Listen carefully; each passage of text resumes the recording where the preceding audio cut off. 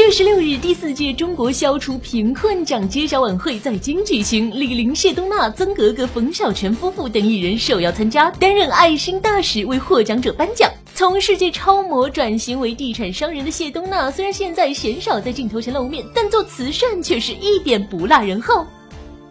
呃，曾经也去了福建啊，一些很贫困山区的一些呃地区，感触颇深。去了以后就感觉。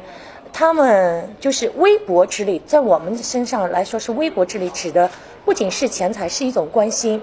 微薄之力到大，给他们一一种很大的帮助。模特出身的谢东娜，如今已经身为人母，弄女为乐，加上商人的身份，让她的生活并不完全笼罩在镁光灯下。对于身材，也不像以前那样苛求自己了。